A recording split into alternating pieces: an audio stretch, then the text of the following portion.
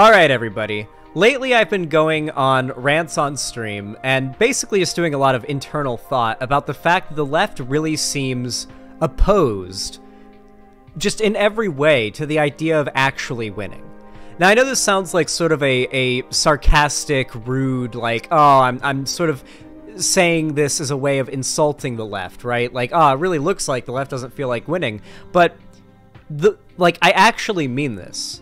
I really do think that as time goes by, more and more I feel that a lot of people on the left do not have winning, like their actual political opinions and, and prescriptions, succeeding and being the dominant idea in society as one of their even close to top priorities. And that's very frustrating for me.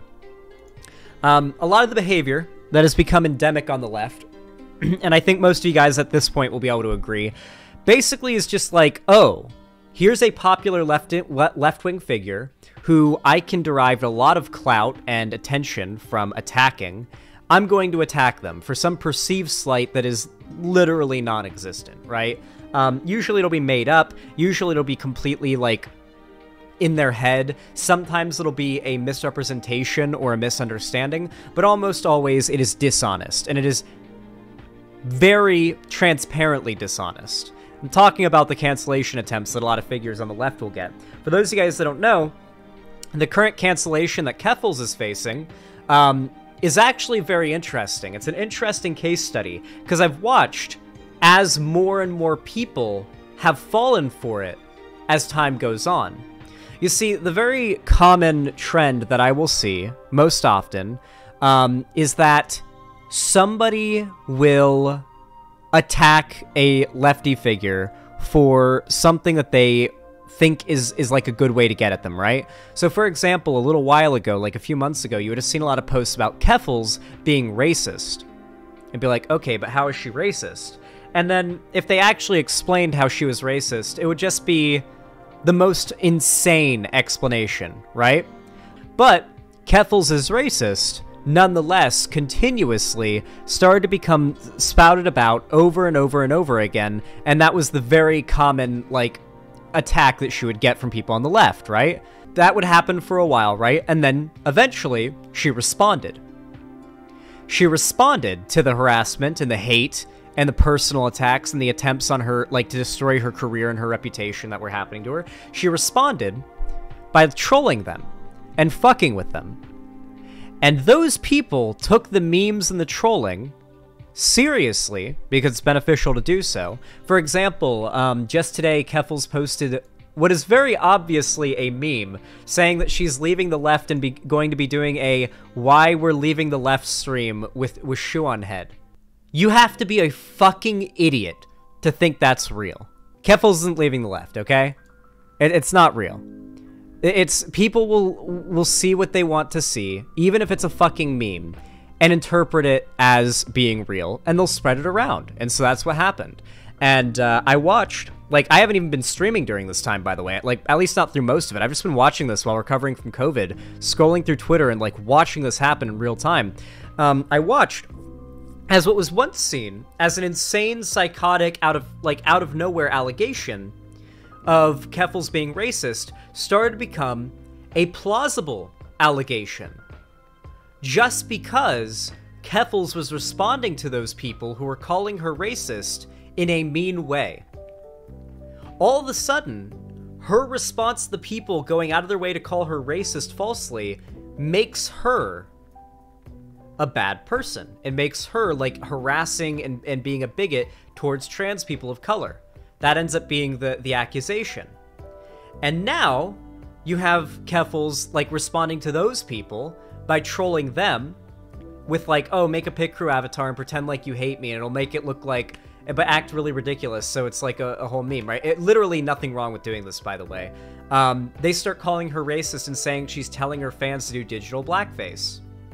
So now these things that are mostly just responses to these psychos that were just trying to destroy her career with baseless accusations, now they're trying to turn her responses to them and their horrible behavior into justification for their initial horrible behavior and as justification for them to continue their horrible behavior and to continue to escalate it. This all starts with narcissists who want to adopt progressive language, attacking popular figures, and uh, trying to use it as a way of gaining clout and looking holier than thou. This has happened time and time again. I'm not even involved in this drama. I have no skin in this game. Like the, the drama I'm referring to now, I'm using an, like an example that I have no connection to outside of being friends with Keffals, I guess. Um, like I just watched this unfold, and I watched as people who, when people were initially calling Keffals a racist, who were smart and didn't fall for it, are now falling for it because like they've been tricked by people who take all of these out of context instances of her responding to people trying to destroy her career, and now they've got a narrative that looks a little bit more plausible, and people are falling for it. I saw today that people took a screenshot of Keffals, like, saying, hey, there's this person on Twitter who is shitting on me. Do you see, is there anybody who, can anybody find any horrible shit they've said because every person who goes after me for for something that they perceive as wrong about me has some real dark skeletons in their closet. This isn't doxing and this isn't stalking. It's literally just like, hey, go go like highlight for like the N-word in this person's like tweets to see if they've been tweeting calling people the N-word a few years ago because that happens often with these woke scold accounts. And uh, they tried to say that uh, she's turning her subreddit into Kiwi Farms. The reason why I use this as an example is because I think it's important for you guys to get a idea of what it looks like to see a cancel like an attempt at destroying someone's career, which is what's happening to Keffals, happen in real time. And that is what a lot of these cancel attempts on popular lefties figures are. Um, I watched as like the most mundane shit was turned into the most extreme accusations, accusations that people at the time rightly never fell for, but then she responded to those people, and people suddenly started to pretend like her responding with even a, a quarter of the vitriol or the heat that she was sent her way that she's responding to um, is all of a sudden justification for the bad behavior she received initially. It's very frustrating and a very common tendency I've seen among the left, and it's a problem. Regardless, I didn't mean to go into too much of a tangent about like why I think the left is a problem when it comes to canceling because here what I really want to talk about one of the biggest flaws the left has is radicalizing normies. You see, if you want to get any of your ideas across, you have to radicalize the normies, the apolitical grillers, to your political positions. You see, something you realize very quickly as a progressive is that once you become educated on these topics and you know how much injustice exists, it becomes very much impossible to stay silent about that injustice. So when you find out, when you see somebody who is silent about that injustice, who doesn't really seem to care about politics or doesn't really want to get into it, it doesn't really live in the discourse, you start to assume one of two things. Either they're heavily uneducated and they, they aren't informed on what's going on, or they are, and they are purposefully, for some reason, not speaking out. This is a false assumption a lot of the time there are a third group of people who just haven't been informed enough on what on the fundamentals of these issues and it is not their fault but if it if they did know they would care and the problem is the right is very good at getting these people to care about the things the right cares about no matter how insignificant and the left is not very good at getting these normies to care about what the left cares about, which is typically pretty ins- like actually significant, you know? The left doesn't care about ju- like educating people typically. It cares about judging those who are uneducated. And I think this is a big problem. However, this video by Innuendo Studios, and I do have my problems with Innuendo Studios. I, I don't think he likes me. I think he's like specifically said he doesn't like Debate bro streamers, but regardless of that, I really like this video, and I think it does a good job of highlighting how the right radicalizes normies. Now, this video uh, came out all the way back in October 2019, which is around when I started doing YouTube. It was the year that I started streaming, and um, this video feels like such a like everybody's seen this video, right? Like everybody knows this video. Um, that's kind of what I assumed, but I mentioned it a few times on stream and a bunch of people didn't know what I was referencing. And I realized this video is as old as my YouTube uh, uh, political career almost. It's a little younger, but like it's almost as old as my YouTube political career, and most of my subscribers have not watched me or even been a part of the left that long. Not to mention, people who have seen it probably haven't seen it in a while. So I figured, let's brush up on a little homework. You know, I, I talk a lot about how, uh, you know, video essayists are assholes, and they do tend to be assholes. But in an ideal world, us Debate Bro streamers would be able to just learn from the video essayist content, and it would be, that would be the end of it. It would be a very mutually beneficial cycle. Um, but that is not the world we live in. Regardless, let's get a taste of that hypothetical world by watching the alt-right playbook, How to Radicalize a Normie. This video should be required watching for all lefties. Say for the sake of argument, your friend Gabe is starting to worry you. Gabe's always been just, you know, a, a regular guy, not very political. He likes video games, sci-fi, comics, Star Wars, and anime. White guy shit. The only offbeat thing about him is you- Whoa, hold on. Whole lot of black people love anime. Let's be clear. To be clear, whole lot of black people in America love anime. You suspect there's like a 20% chance he's a like to to be clear, the the anime the anime fans who are black are the very few anime fans that don't suss me out as the possibility that they're pedophiles. I, am I the only one who who who like has that same feeling?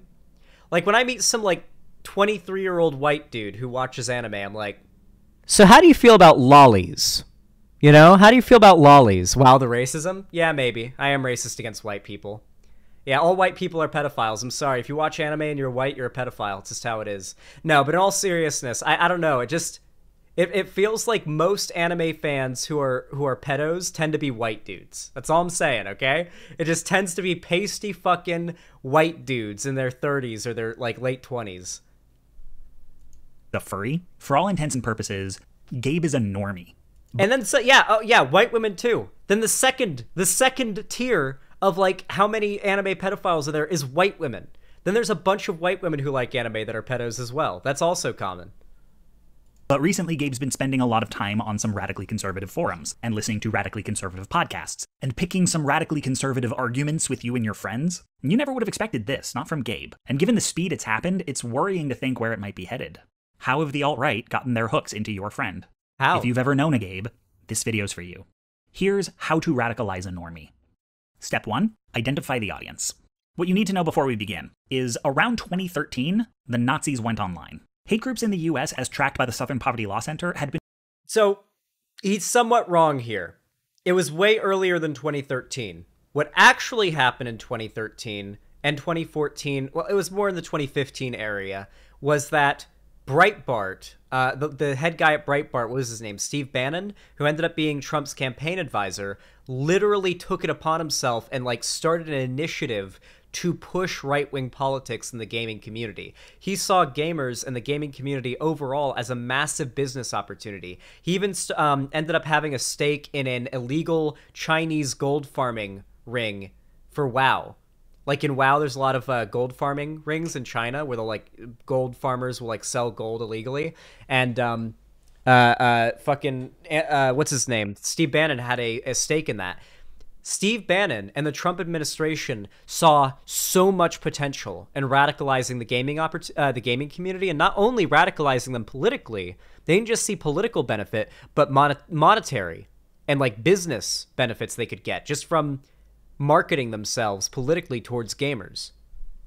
Been growing in number since the Knots, but between 2012 and 2014, they dropped by almost a quarter. Patriot groups dropped by over a third. However, hate crimes stayed about the same.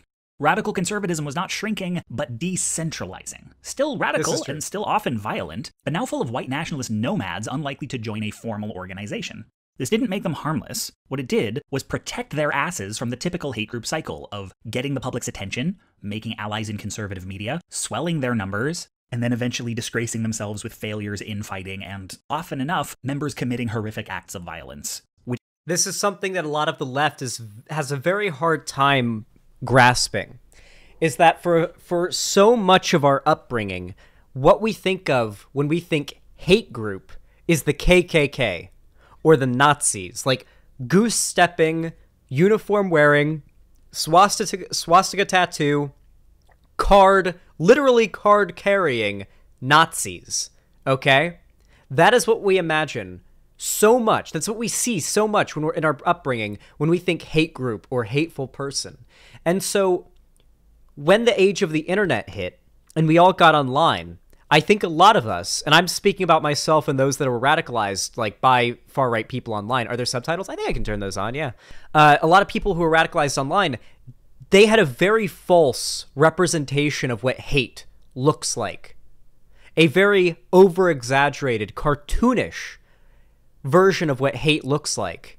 And so when somebody like, for example, Lauren Southern came along with the Great Replacement theor- conspiracy theory, um, all of a sudden, you know, so, so a pretty white girl telling you that you know, oh, I'm not hateful. I'm not racist. I just I have concerns about um, the statistical decrease in white birth rates and and immigration causing. it's like, oh, okay. Well, this isn't like a some. This isn't some like grody re- right wing redneck swastika tattoo. Uh, uh, you know, sheet over his head guy uh, screaming "Sieg Heil" and and all that shit. This is completely different. And so a lot of young people have absolutely no fucking idea what an actual bigot looks like when they get online and start getting exposed to political stuff. And so you have to realize that a lot of people, a lot of those kids who got online uh, around that time, they're grown up now.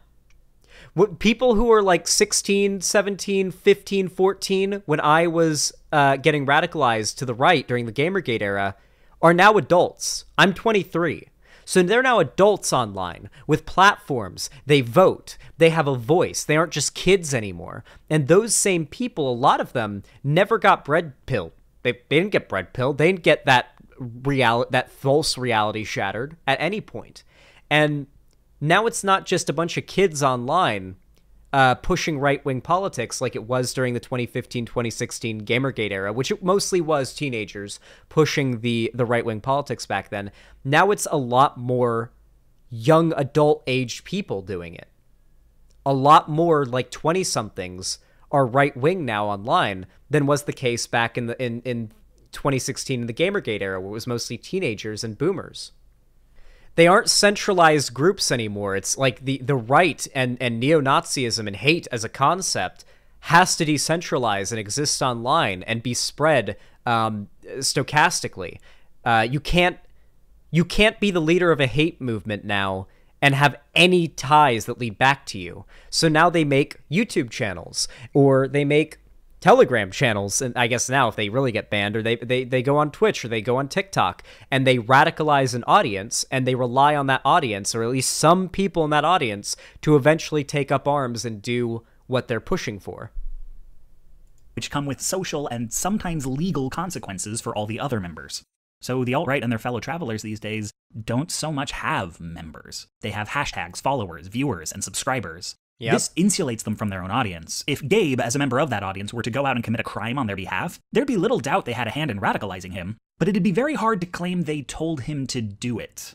Exactly. That's why even when the Christchurch shooter, the Christchurch shooter, after killing, like, I think it was 51 innocent people in a, in a, um, in a mosque in Christchurch, New Zealand, um, he, he murdered them. He live streamed it he live streamed his mass murder, and he'd also posted a manifesto. Um, and the manifesto is probably still available online if you guys want to try to find it. Do you know what that manifesto was called? The name of the manifesto was The Great Replacement. You have to understand that this type of hate that leads to violence, it's the people who are pushing it. They're they've got big platforms. They're on YouTube. They're on Twitter. On some of these sites where Gabe spends hours and hours of his day, he's he live streamed it. Oh my god. This is why we need to watch this video. This video was released a year after the Christchurch shooting roughly. I we needed to watch we needed to watch this video today. So many of you guys in chat needed to see this video because this is important knowledge. This is the the the the background, the context that this era of internet politics gives, I think is very important. He's never created an account or left a comment. The people radicalizing him don't even know he's there. This distributed nature is what makes the alt right and the movements connected to it unique. You may remember a notable proof of concept for this strategy. Doing almost everything online has, as compared with traditional hate movements, dramatically increased their reach and inoculated yep. them from consequence. The trade off is a lack of control. And how many times have you seen a drama YouTuber or a commentary YouTuber who clearly just wants to be edgy in their videos defend like outright Nazis being allowed on YouTube, like even if they they they are radicalizing people because they're free speech absolutists and they don't want to have their free speech taken away to say the n word or whatever or to be edgy or to do whatever they want so many normie, non right wing, just edge lord YouTubers I have seen, like Turkey Tom and, and, and all that, like they are literally free speech absolutists. Like even Nazis who are who are actively and provably inspiring terror attacks should be allowed to have YouTube platforms because they don't want to. It's they think that any type of speech restriction is a slippery slope. They that's a propaganda point pushed by the right that is inescapable in online culture. The idea that any form of censorship is a slippery slope to complete and utter like devastation of all speech. That is a right wing propaganda point that is inescapable online. It has become a basically inescapable internet truth at this point. And it's not the truth. It's one of the ways the right has dominated internet culture. That's basically Head's position. Well, Head is not on the left her boyfriend's a Nazi. I think um she recently uh went to like some she privately went to like a far right uh uh like media event or something like that where like it's a small event by the way held by a small group. It was very clearly like something she had to like it's it's yeah, it's like some I, I think the group has like a, a, a moose as their logo and they like all their tweets are about how they will defeat the trans agenda and they will defeat the gender nonsense being taught to kids or whatever. But yeah. Yeah, Shu's not left wing. So we come to Gabe. Gabe exists at the intersection of the kinds of people the alt right is looking for straight white cis men who feel emasculated by modern society, primarily, though they do make exceptions, and the kinds of people who are vulnerable to recruitment. Gabe fits the first profile in that he got bullied in high school and often feels he has to hide his nerdy side for fear of getting ridiculed. The alt right also has success with men who can't. A lot of, yeah, yeah, a lot of, um, they won't admit it because you have to understand that the right teaches narcissism as a way of sort of bolstering your self esteem. So a lot of them won't admit it, but most of these right wing dudes were not powerful people when they were younger. Um, a lot of these young guys who end up falling into the Andrew Tate shit, as we now know is like the more popular thing now, uh, the Tate brothers. But back then it was like the M, like MGTOW incel community at large. The people who fall into this are usually dudes who were bullied for having nerdy interests like gaming, and they have a very strong identity tied to their nerdy interests, whether it be Marvel movies, comic books, gaming, whatever, and they think the left is on the offensive, attacking what they enjoy. They've been told by right wing propagandists online that the left is attacking what they love and enjoy get laid, or recently got divorced, or feel anxious about an influx of non white people in their community. These things can make one feel like less than the confident white man they are supposed to be. Supposed and to it's be. the closest they will ever come to being minoritized. Regarding the second profile, it's Ooh. important to know that Gabe is not. I forgot. Very good point. Very good point that uh, they make here. A lot of young white dudes who are straight and cis, like in my case, grow up being told a lot and I know this sounds like, you know, a right wing talking point, but it's true. Grow up being told a lot that they are privileged and that in some cases they may be led to feel like they are bad simply for having that privilege. I can tell you, I can confirm to you, as a young guy, as a, as a teenage boy, there were many points where left wing advocacy that I was hearing made me feel bad for being a man it felt like I was supposed to feel ashamed that I was born a man and without any choice, uh, it was have been given the privileges of of being a man. Lucky Otter says their mom was really bad with this. Mine too. Trust me. Um, yeah, and so for a lot of young people, a lot of young cis straight dudes, and a lot of them won't end up being cis or straight in the long run. To be fair, a lot of these guys end up realizing they're trans or they're gay or they're bi or anything along those lines later in life. But in many cases, in most cases, they feel as though they're nonstop getting shit talked for this perceived privilege they have, and they don't see the privilege. Like I didn't I couldn't see the privilege. You have to be older and you have to have a lot of real life experience and a lot of just seeing shit to realize the privilege. You have to like see the lack of privilege in other like in other people and their experiences before you can realize what you have. You know what I mean? And so in my case, it took just not being a weirdo incel anymore and making friends with women that were completely platonic and just hanging out with them and talking to them and learning about their lives where I realized, ah, shit, huh, yeah, being a woman does kind of suck in a lot of cases, you know? Being gay does suck in a lot of cases. It really does kind of suck to be gay or a woman or to be POC and to, like, not really see yourself reflected or people who look like you reflected in the media you consume. Like, every video game that comes out, like, the main character is like a straight white guy with brown hair. Like, it's just, you don't really. Uh, these are just realizations that you make the more exposure you get to these groups. And the more exposure you get to the arguments, the more you think about it, the more that wall of propaganda that's been built up gets shattered. And you just start to think on stuff, you mull it over. But the most important thing to realize is that a lot of these young guys feel oppressed. They actually feel oppressed because of all of this.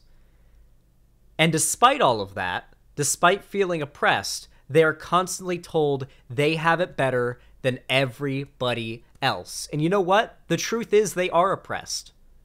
We are all oppressed under some mechanism or another. Even cis straight white men are victims of the system to some degree, even if they have it less bad than other groups. So everybody has it tough. And these guys are being told that they have it better than everyone else, and they're not seeing it. They don't have the, the worldly experience or age or wisdom to see it, or the education to see it. I mean, the Republicans will make sure they don't get the education to see it. And uh, they yeah neurodivergence as well. Um yeah and and they see they feel like absolute shit. They feel like the only person who cares about them is the right. Not categorically different from you or me. He's do you guys know dream stole his character model? It's a very basic it does look a little bit like dreams thing but it's very basic. It's literally like you this is you cannot claim that anybody has copyright on this art style i'm sorry it, we we there when you can literally make a basic character in this art style in four pen strokes, maybe five. That it's not like whoop whoop whoop whoop whoop doot doot doot. There you go. That that is you, you can't copyright that that art style. Is a cishet white dude. His problems are not unique. There's not a ton of research into the demography of the alt right, but there may be a higher than average chance Gabe has a history of being abused or comes from a broken home. You don't know if that's true of Gabe, he's never said. But most abuse survivors don't become Nazis. The things True. that make people like Gabe recruitable tend to be situational. It happens often during periods of transition, as dramatic as the death of a loved one, or as benign as moving to a new city. Things that make people ask big life questions. Gabe has concerns like economic precarity, a lot of it will be like, oh, you're a teenager and you're depressed. What are you going to do? Spend a lot of time on YouTube watching YouTube videos. Probably playing a lot of video games and watching YouTube locked up in your room. That's a lot of what teenagers do when they're depressed. And, and guess what? Teenagers and depression? Like two peas in a pod. So yeah, it's going to lead to a lot of this shit. Not knowing his place in a changing world, stressful working conditions. In other words, Gabe is suffering under late capitalism, same as everyone, and it's entirely plausible he could have gone down the path to becoming a leftist. Now, this is not to make an economic anxiety argument. The animating force of the far right is and always has been bigotry. But the alt right. This is true. It is very important. Yep, I hated my parents and they made me feel awful, so I hung out in my room 24 7 on the internet. Yep, it's very common. Um, in this case, I, it is very important to know in most cases, it is not the fact that like everybody's having a hard time getting the bills paid that is radicalizing people to the alt right. Most alt righters are not people who are like, "Wait, what do you mean I, I like I can't pay my bills and my wages are low?" Oh, you're telling me it's because of immigration? Ah, all right. Well, time to carry some tiki torches and chant "Jews will not replace us" at the Charlottesville rally. That's not how that goes. That's not what most Nazis. That's not the journey most Nazis are taking. However, the state of late stage capitalism leaves pretty much everybody depressed and not knowing what to do. And that, that is a prime uh, suspect for recruitment to the far right. Targets Gabe by treating his economic anxiety as one of many things bigotry can be sold as a solution to. It is their aim that when dissatisfied white men go looking for answers, they find the alt right before they find us. Never has it been better put. That is their whole goal. When this guy goes on the internet, their goal is that they fi- that this that Gabe finds finds alt right content creators, far right or even middling right wing content creators and propagandists before they find us. Because guess what? Most people don't go from left or progressive to the right. It's not very common. Most people who are like on the right and claim to have been on the left, you you go digging and you find out, wait, they never were on the left. Did hey, hey, you know Karlyn Borysenko, possibly the most popular le- leaving the left person out there? We recently did a video where it turns out she was dating for years and years and years was dating a pedophile, a convicted pedophile while he was in prison. She was his prison pen pal, prison girlfriend, like pen pal thing, and was like excitedly waiting for him to get out of prison. They got together when he got out of prison for child molestation, multiple charges of it. Um, she's very well aware of this and defended it, and was absolutely right wing back then as well. Like people dug into her history, and it is not good. So like these these people who claim to have been on the left and then moved to the right, it's not a thing. It's not a thing. Once they get to us, they get it. Like things make sense. They understand the reality of, of the situation. And the right's propaganda has a very hard time creeping back in from there. It's it's not very common. The right needs the Gabes of the world to find them before they find us. It's why it's so frustrating to me. The left seems dead set on making sure no lefty figures of any import are out there for Gabe to find. You know why I started this segment with the rant about the Keffals cancellation, right? It's because from the start, these woke scolds have wanted to destroy her career. And everything they use as justification from this point on is nothing but them trying to backwards justify the insane shit that made them decide they want to destroy Keffals like a year back, right? They want to destroy her, and no, regardless of what their their goal is, all it will mean is one less left one less left-wing voice that maybe this Gabe stumbles across before he finds a Nazi.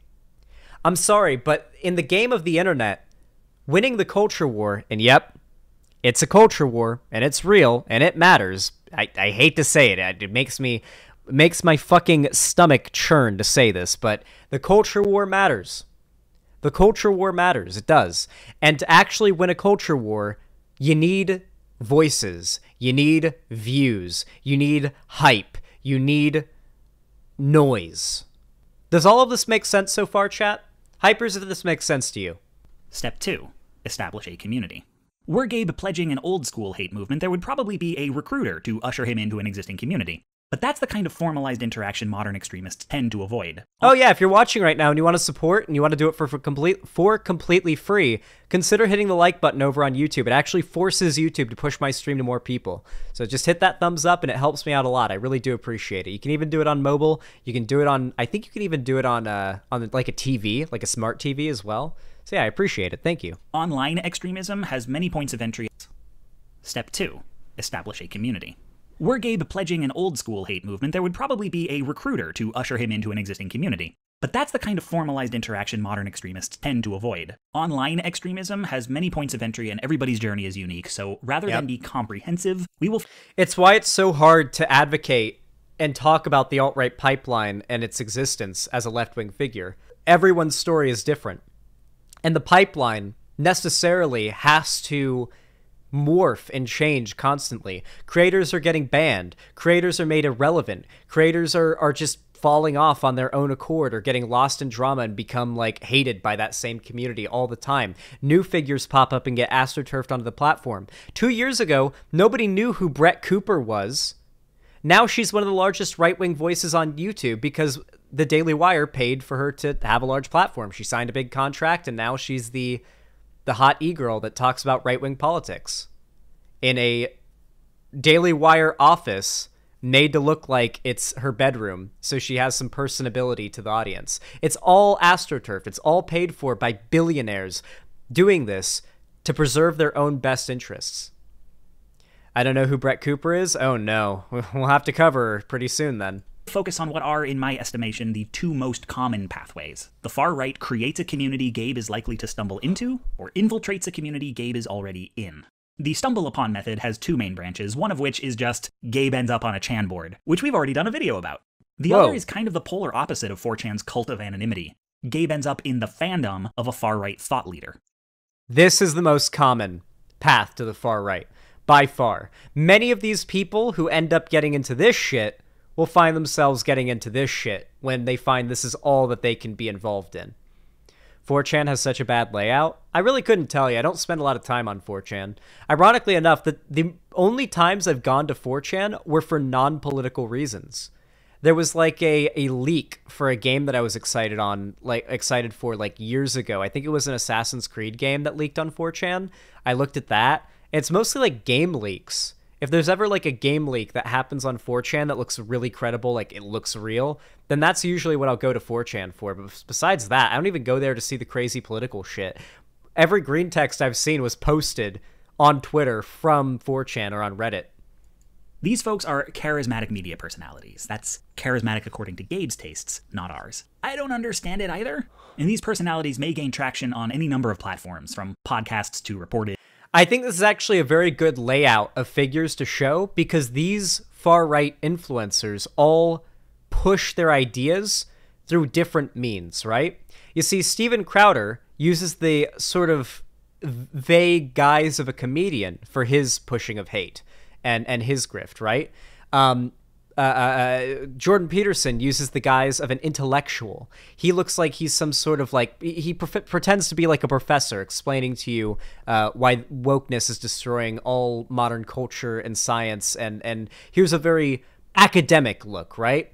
Sargon of Akkad is like a, a culture gamer bro dude who uses a British accent to sound smart and like he knows what he's talking about. He's like the the king of the of the skeptic community, as we'll say.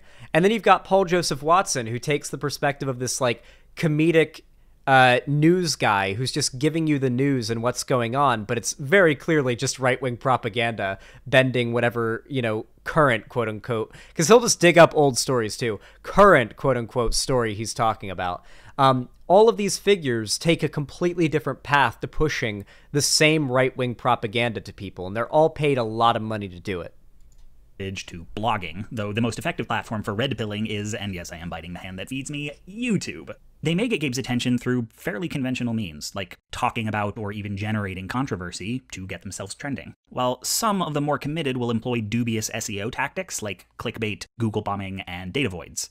But what they tend to have in common, especially the most accessible ones, is that they don't present themselves as entry points to the radical right. In fact, many did not set out to be far right thought leaders and may not think of themselves as such, though yep. they are often selling products of which the alt right are among their biggest purchasers, and it's not like they're turning the money away, so there's that. How they present is the same way anyone presents who wants to be successful on social media accessible, approachable, authentic. The face to face relationship a budding extremist forms with their recruiter or the leader of their hate group's local chapter are here folded into one parasocial relationship with a complete stranger. Why this person appeals to Gabe is they're not selling politics as politics, but conservatism as a kind of lifestyle brand. They were Does that sound familiar to you guys? Can we can we think of anybody who's gained massive amounts of popularity recently who literally sells conservatism as a lifestyle brand? Thank you, Holic Master. You're dead on the money. Andrew Tate. Andrew Tate has to be possibly the best shining example of somebody who used conservatism as a lifestyle brand to push conservatism. It's not a set of political beliefs, but it's a lifestyle. It's who you are rely heavily on critiquing or ridiculing the left. Feminists are oversensitive, black people unintelligent, queer folks doomed to loneliness, and trans people insane. I don't know if it's You know, it's really crazy that th- these are the positions that were popular back then um, because they've escalated in their severity. In some ways, Thunderfoot has literally left the right and just makes science videos now. He literally just debunks Elon Musk and other like pseudoscience stuff now. He's based. Um, this guy is a nobody anymore. That you could just replace this guy with Andrew Tate. Ben Shapiro calls all trans people groomers and pedophiles now, and so does and trans- so does Blair White. Like like Blair White just calls trans people groomers and pedos now. So we're, like it's gotten even more hateful. People insane.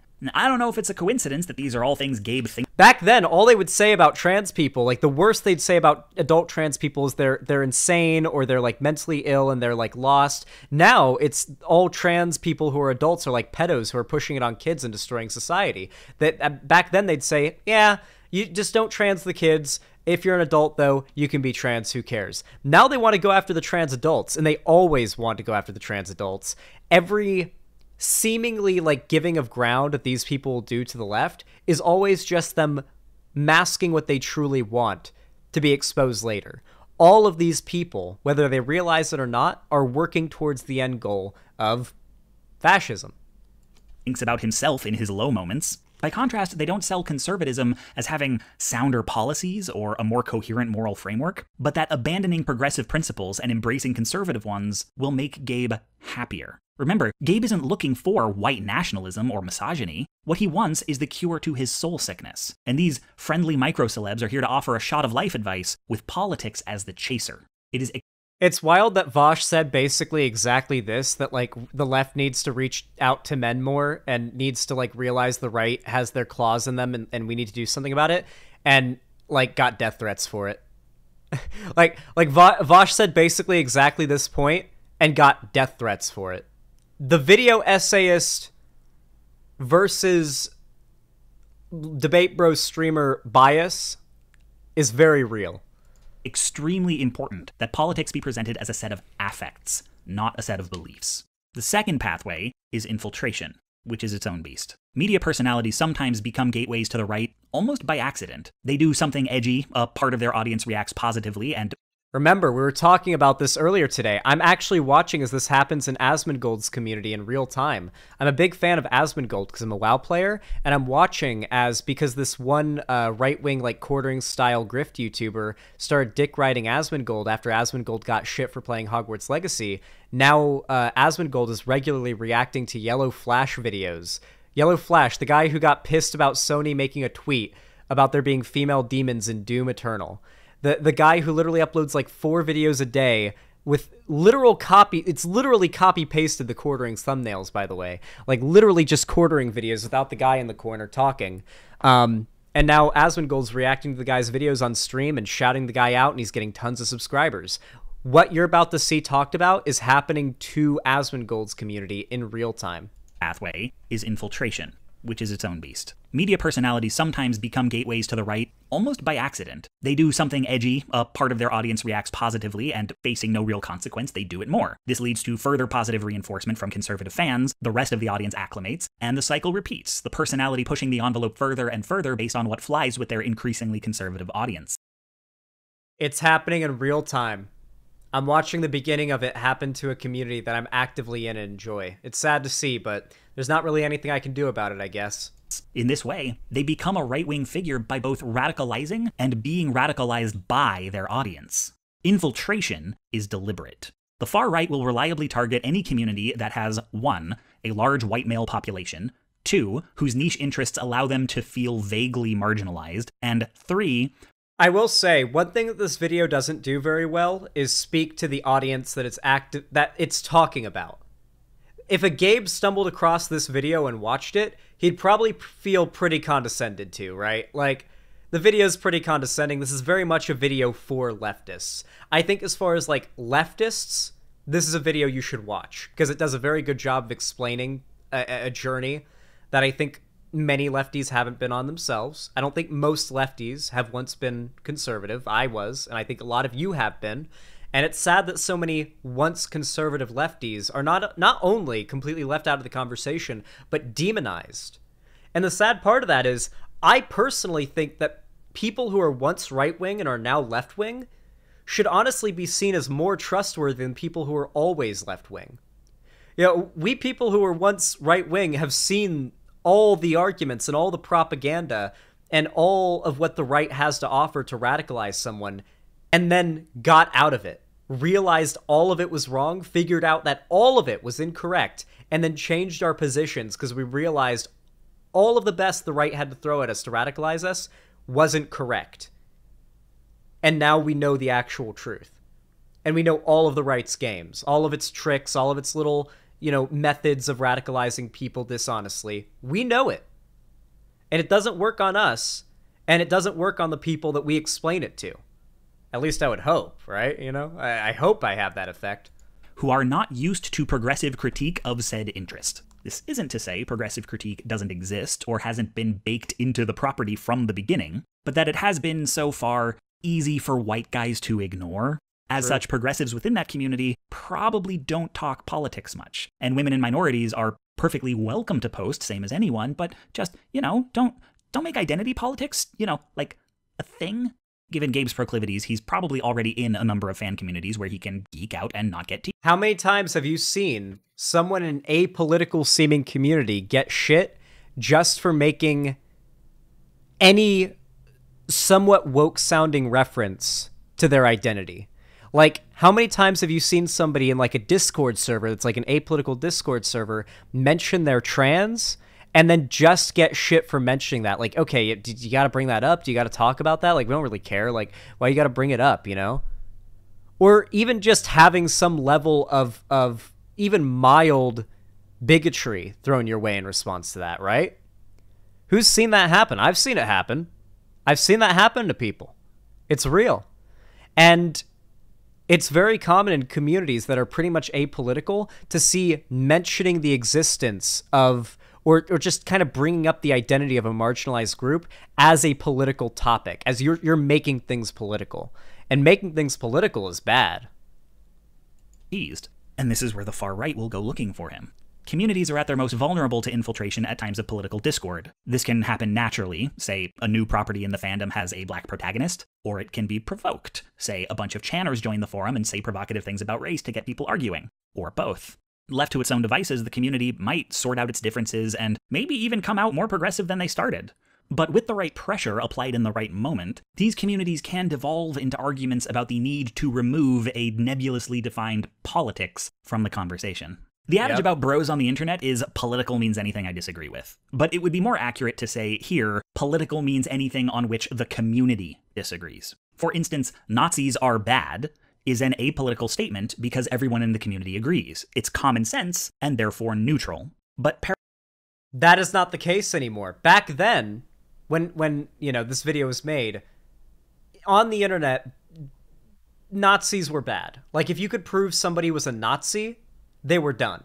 Back in like 2019 in that era, 2019 2020, like Nazis were seen like conceptually as bad enough that if you could prove someone was a Nazi, they were done. But now we've got Kanye. So Nazis are bad is no longer an apolitical statement because that's a debatable statement now in our political culture. Online, if you go and you tweet Nazis are bad, you will get people with Groyper avatars with lots of likes in their posts replying cringe, L, uh, Jew, stuff like that. And they will have lots of likes in their posts. Nazis are bad is no longer an apolitical statement. It was much more of an apolitical statement back then. It was much less up for debate. And yes, I'm sad to say, Nazis are bad in 2023 is a topic online that is much more up for debate than it was in 2019 or 2019. paradoxically, Nazis are good is also apolitical. Because Nazis are bad is the consensus, Nazis are good must just be an edgy joke. And even if not, the community already believes the opposite, so the statement is harmless. Somehow this has not become this has not had the opposite effect. Nazis are good has not become more of a political statement, uh, as Nazis are bad has become more of a political statement because, uh, like, now it's still seen as just an edgy joke. We've got people who will literally outright say, "I am a Nazi. I like Hitler." Like they'll outright say it. Clip me there. Um, they'll outright say it, and they'll be very clear and and it'll be obvious that they are not joking. Like Kanye, for example. We'll use Kanye West as an example. Kanye West is clearly not joking. I still see random normies online saying Kanye is joking and that he's just being edgy. I, I see tons of random normies online who still think Kanye is being edgy and joking. So not only has Nazis are bad become a political statement up for debate, but Nazis are good is now seen as a joke not worth taking seriously. Even more so than back then. Tolerable. However, feminism is good is a political statement because the community hasn't reached a consensus, is debatable and therefore political, and you should stop talking about it. And making Hold on, let me rewind because this is a really good point. I don't want to inter- uh, interrupt. The community already believes the opposite, so the statement is harmless, tolerable.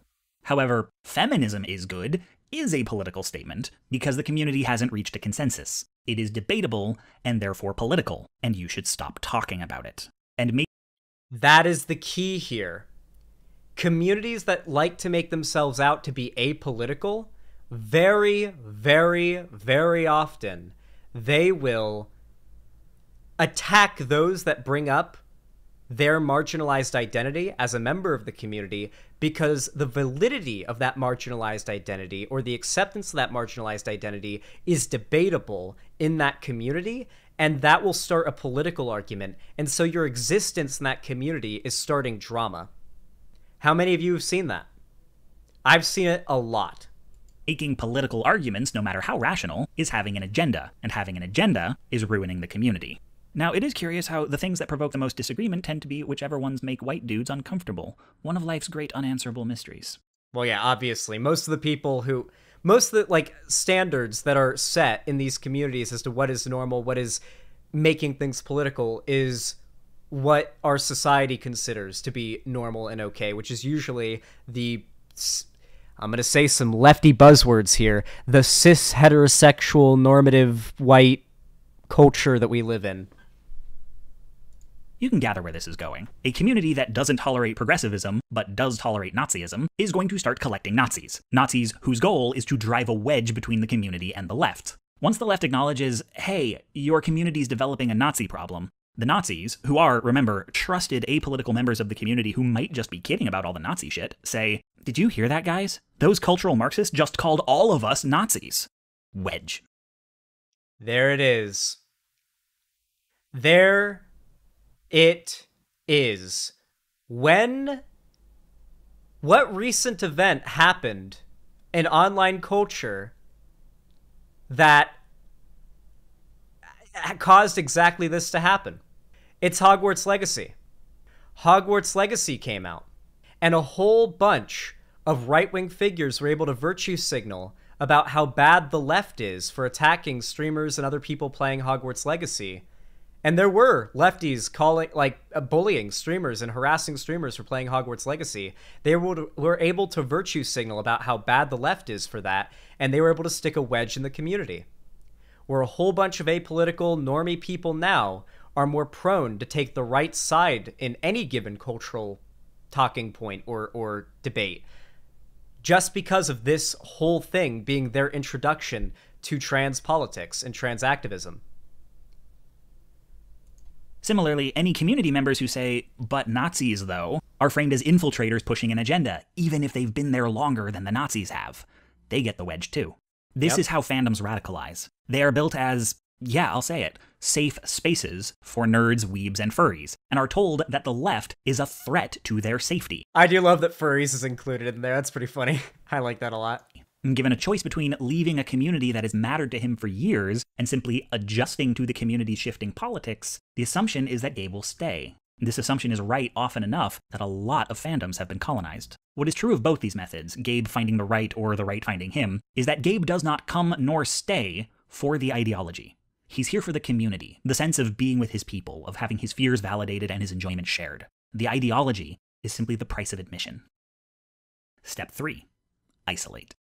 There is a vast interconnected network of far right communities out there, and Gabe is at this point only. This video is phenomenal. You're right about that. It does a very good job of breaking down all of this. There's not much I wanted to add there, but this next point is very important because this is the next step in a community getting radicalized and and sort of where the left loses its ability to have any chance, any chance of pulling people out from the right.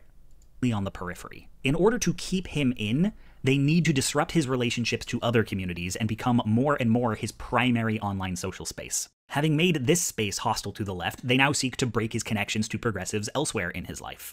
This is hard to do online. The whole appeal of moving radicalism to the internet is that your away from keyboard life doesn't have to change. You are crypto the moment you log off. Some thought leaders will encourage their audience to cut ties with family of origin, or DFU, but even then, they can't monitor whether the audience has actually done it in the way an in person movement could. And so alienating Gabe from the left is less controlled and consequently maybe less total. That is true.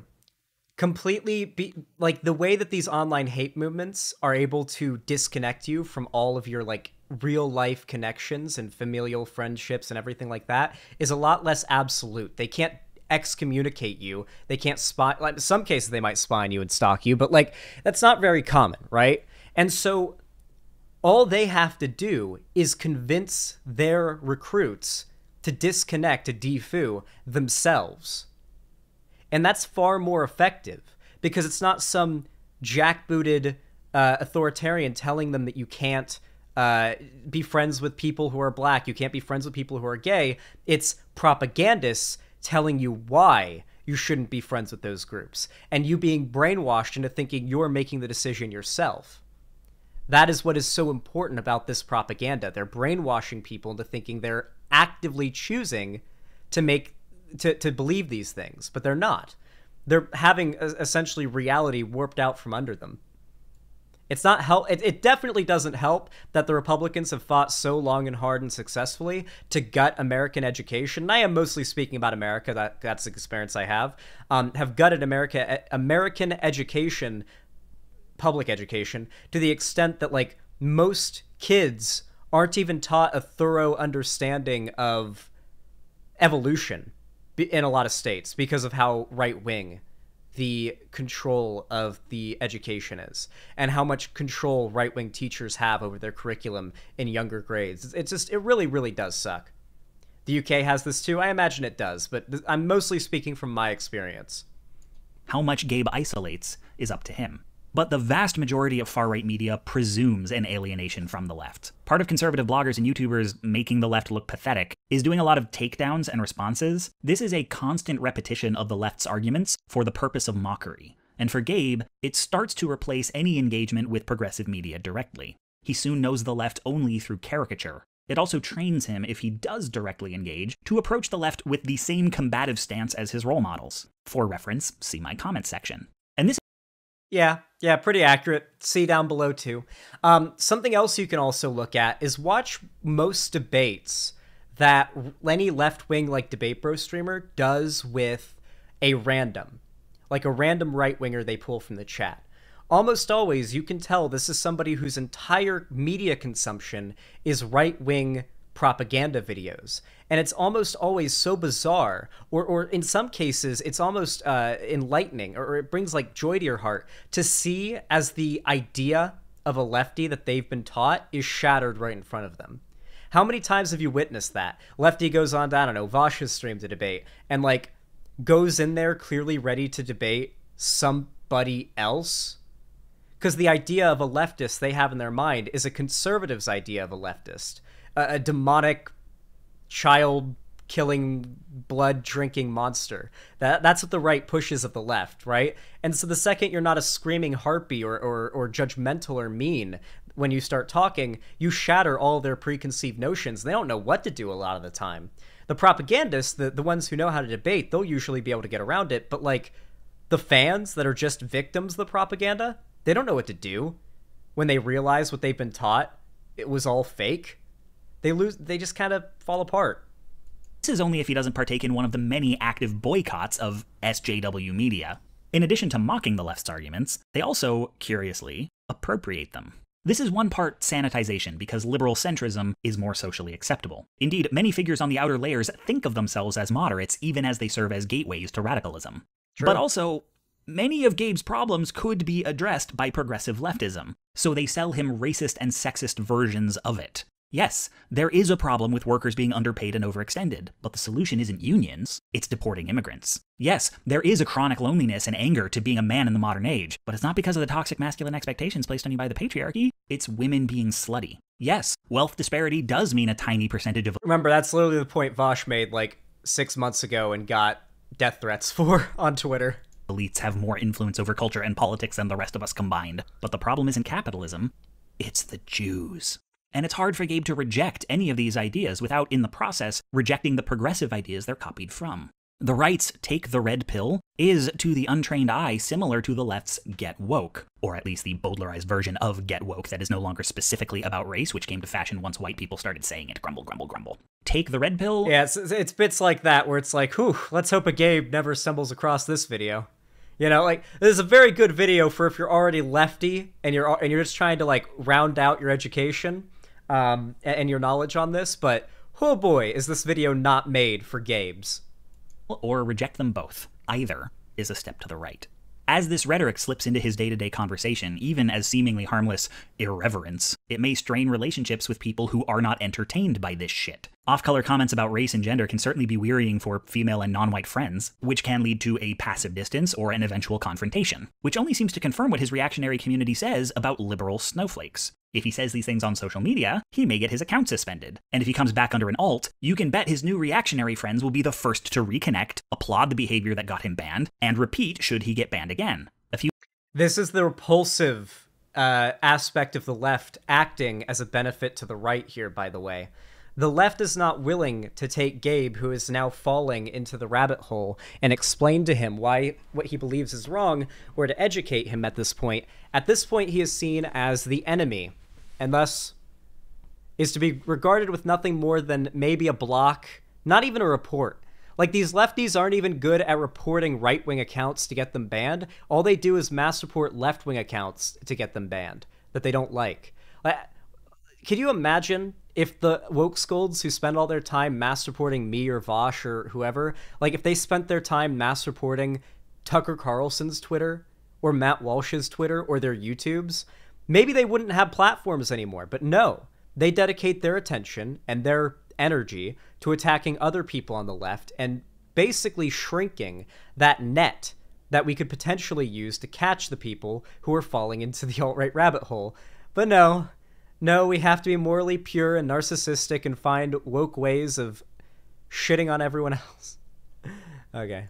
Few cycles of this, and he's lost touch with everyone else. Tucker would never get banned. He has dark money protections. Yeah, Tucker's a bad example. He's too big. But, you know, like libs of TikTok or whatever.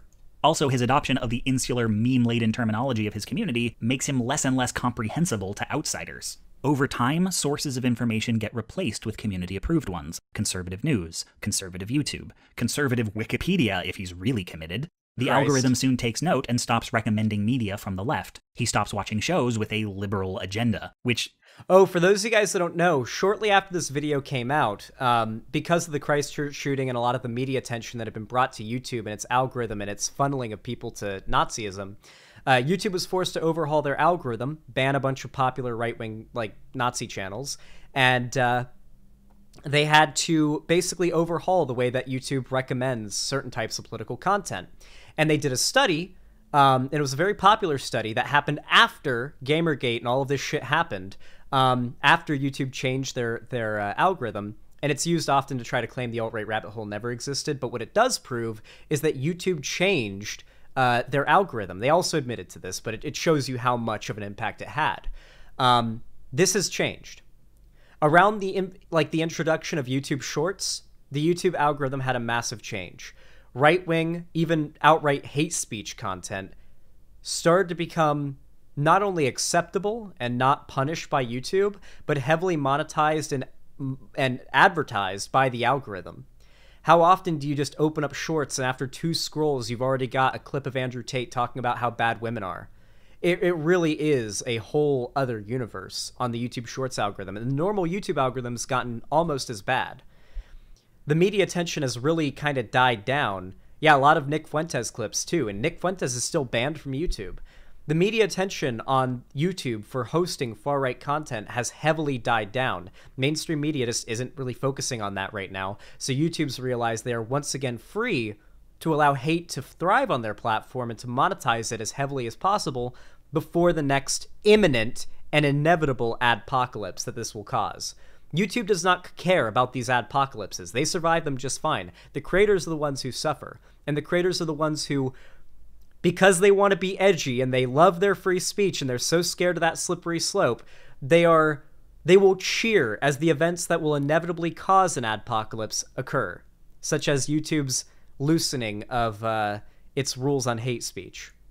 Over time, sources of information get replaced with community approved ones conservative news, conservative YouTube, conservative Wikipedia if he's really committed, the algorithm soon takes note and stops recommending media from the left. He stops watching shows with a liberal agenda, which usually means shows starring women and people of color. Now, there is evidence that the human mind responds to fictional characters similarly to real Yep. people, and that consuming diverse media can decrease bigotry in ways roughly analogous to having a diverse group of friends, which is Yep. one of many reasons we say representation matters. By consuming a homogenous media diet, Gabe stymies his ability to have even parasocial relationships with anyone who isn't a cishet conservative white dude or one of their approved exceptions. To the extent that any of this happens, it happens at Gabe's discretion and at his own chosen pace. It has not been forced on him, only encouraged and rewarded. To be fair, Chris Ray Gun was much more fresh off the off the right wing, uh, more right wing leaning content back then. So this was a much more timely reference.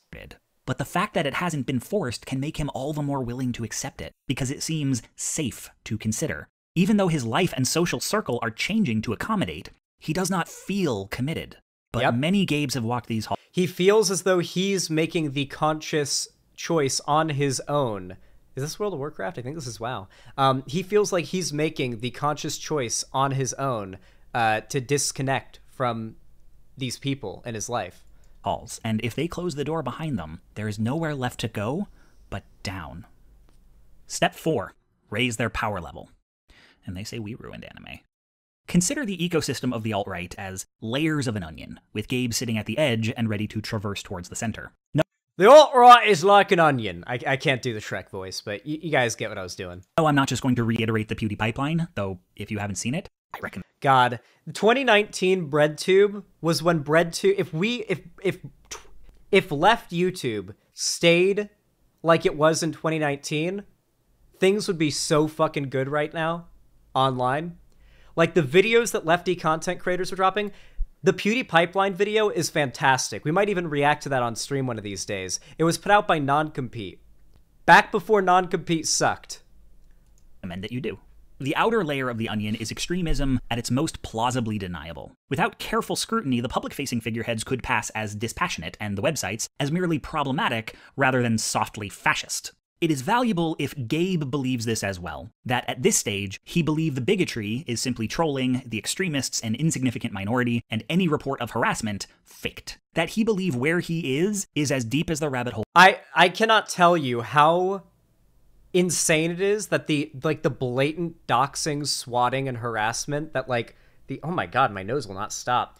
That the OG um like feminists, I guess we'd call it like the OG feminists would be the name that we'd give them. Uh, like Brianna Wu, uh, uh, Anita Sarkeesian, um, all of them. Like the amount of harassment and like doxing and swatting and just hate they were receiving given to any other content creator, like for example, I don't know, like I'm trying to think of like a rant like Markiplier.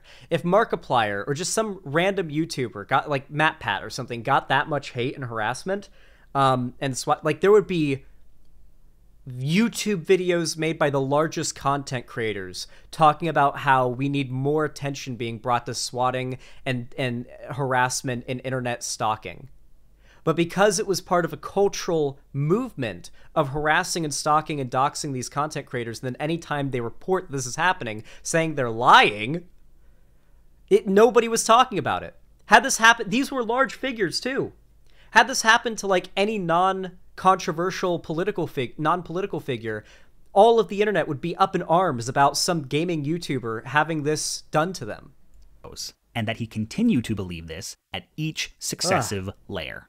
People in the deepest crevices of the alt right self report getting red pilled on multiple issues at different times in their journey to the center of the onion. If Gabe's first red pill is about the SJWs coming for his free speech, he'll think that's all anyone in his community believes. There's no real racism here, people are just making a point about their right to offend people. Then, when he gets red pilled on the white genocide, he'll laugh at those alt light cucks who tried to sweep the race realists under the rug, and at himself for having once been one, but each successive layer of the alt right rabbit hole, as I call it, um, you start to feel as though, oh, this is the end of it. I'm truly red pilled now. There's nothing more than this.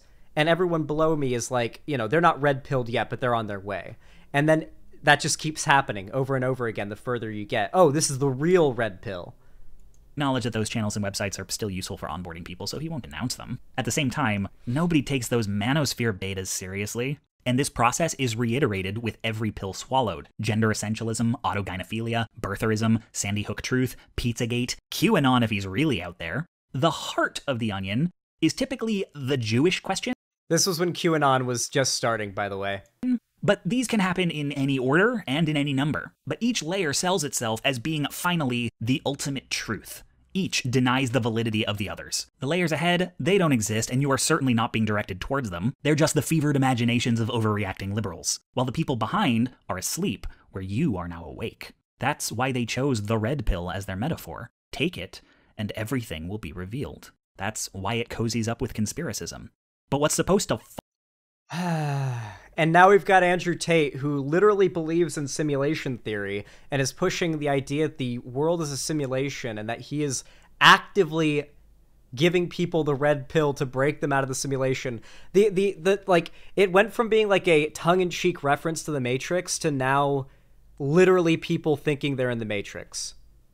If that's we've literally watched as the community, as the internet has gotten radicalized like someone like Andrew Tate would not have gotten as big as he did, as he is now, uh, or was uh, before prison, um, back in 2019 or 2020. The internet had a little bit more sense to it back then. But something that happened since 2019 and 2020 is that a shit ton of teenagers became internet age.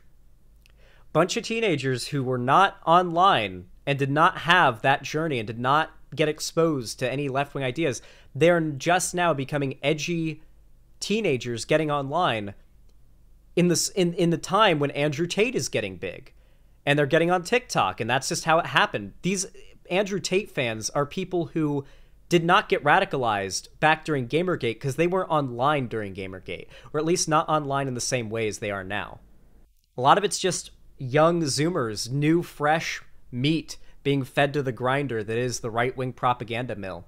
Follow is that this knowledge help Gabe in some way, and it doesn't. Blaming immigrants doesn't actually fix the economy, and hating women doesn't make men less lonely. But having been alienated from everything outside the onion, once that sinks in, the only recourse on offer is to seek out the next pill.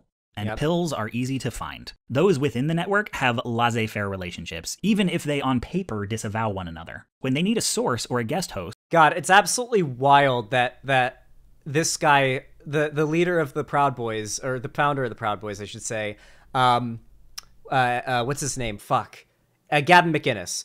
It, it, that Gavin McInnes was platformed by Joe Rogan. Can we get the video of Gavin McInnes pissing in the cup? Should I play that? Nah, we don't want to get too stun locked. For those that don't know, Gavin McInnes literally pisses in bottles and cups on air, like literally under the desk, while doing a show and gets like blackout drunk and like screams obscenities and, and has meltdowns. It's like really funny if you guys haven't seen it. It's really, really funny. They aren't going to go to the left. They're going to feature each other. The left is the enemy. Their ideas are beneath consideration, and the only reason to engage them is for public humiliation. But you can interview a Western chauvinist, and that doesn't mean you're endorsing him. Just, you know, it's fine to hear him out. Nothing should be off limits in the marketplace of ideas. Besides, Nazis are apolitical. And because these folks keep showing up in each other's metadata, regardless of what they say, Google thinks there is definitely a relationship between the guy just asking questions and the guy denying the Holocaust.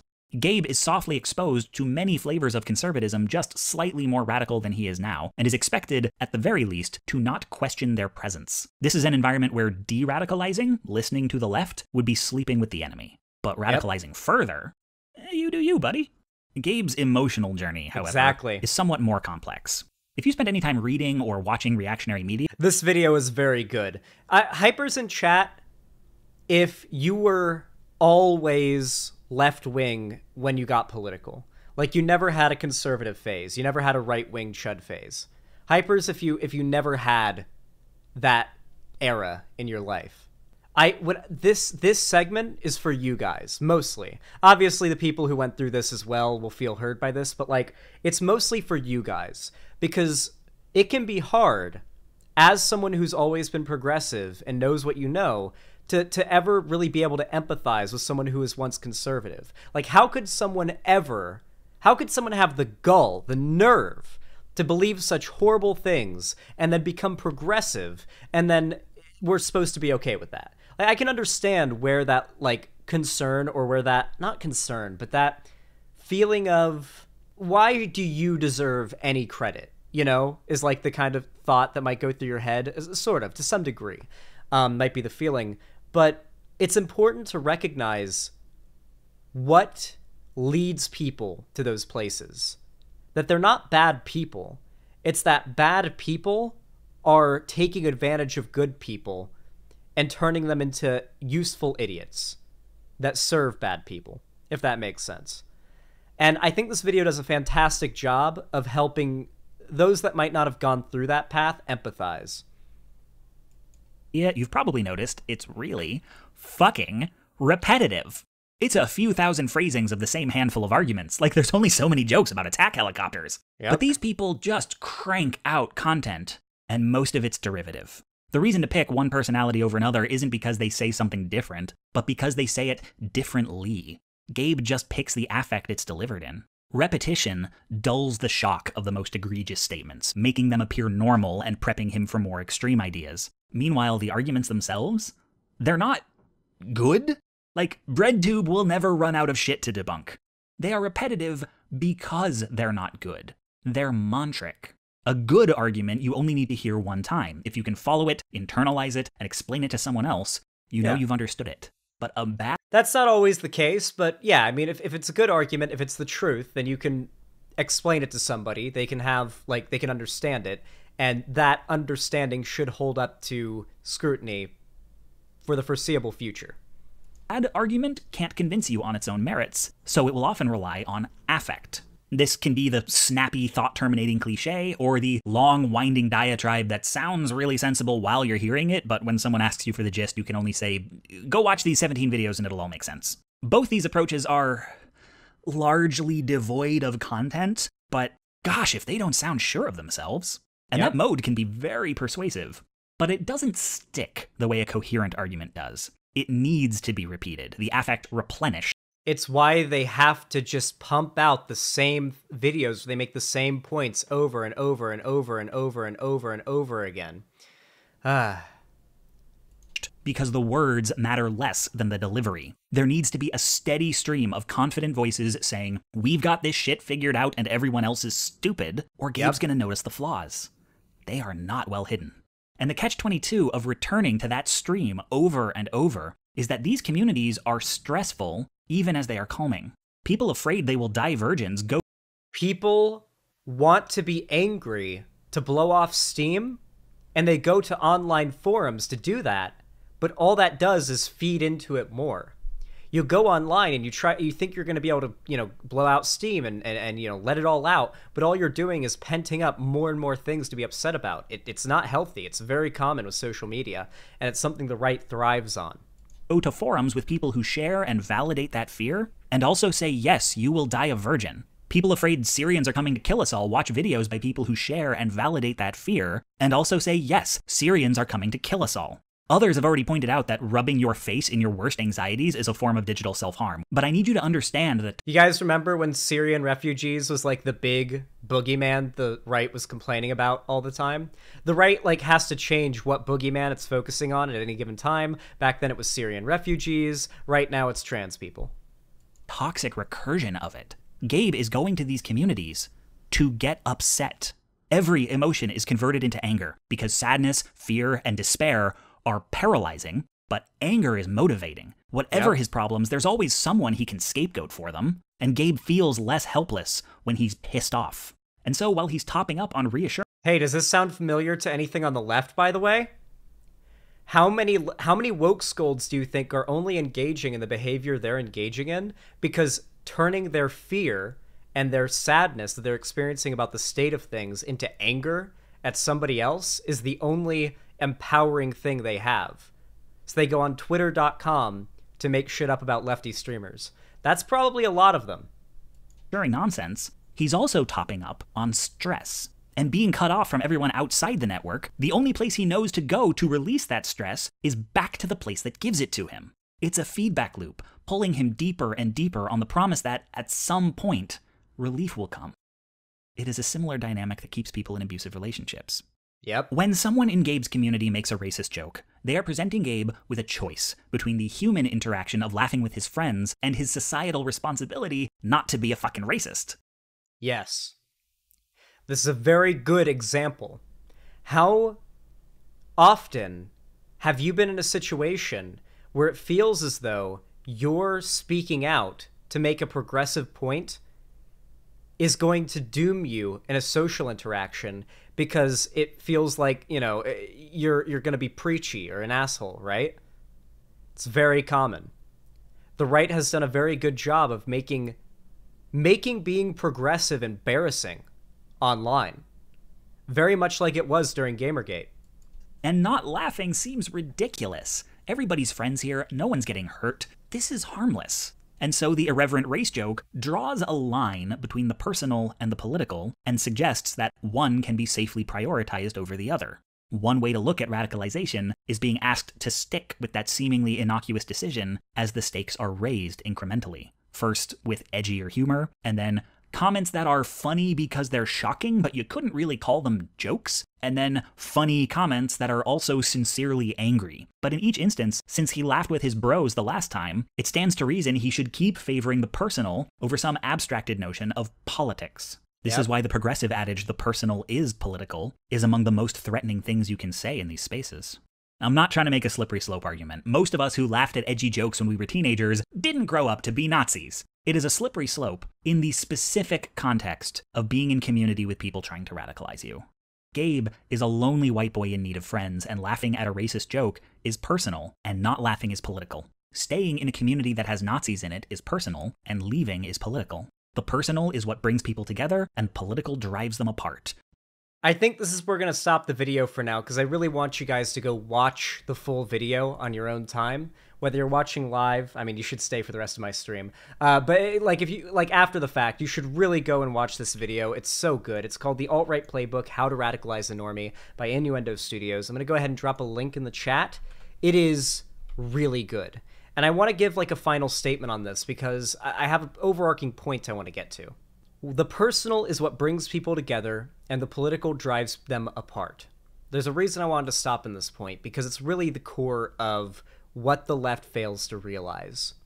The left, culturally, tends to take the position of the aggressor, going into a community, going towards a figure, and demanding that something change, which is political. They are the ones pushing politics at least seemingly pushing politics onto everybody who who we need to get to care about leftist ideas, right? Or left at least progressive ideas. While the right has a far more subtle way of doing this. They utilize the fact the left is doing this as a, as weaponry. They use the left's actions against them. They love doing that. It's not hard to be fair.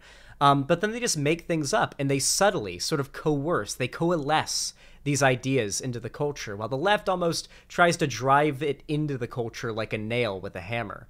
Um, and it just doesn't work that way. You catch a lot more fl- flies with honey than you catch with vinegar. Um, doesn't mean we need to be accepting of these right wing propagandists, these fucking ghouls, these fucking monsters. And it doesn't mean you need to be nice to random Nazis on Twitter who are telling you you don't deserve to exist. But I do think that this knowledge alone will help you in ways you don't realize when it comes to advocating for left wing ideas. That's all. I don't even think you'll realize the ways in which this knowledge will add context to your arguments and the ways that you argue and, and, and argue for, I should say, your progressive beliefs. Anyway, with all that said, thank you so much for watching. I appreciate it. Thank you for the support, the likes, the comments, the donations. Um, and yeah, have a good one.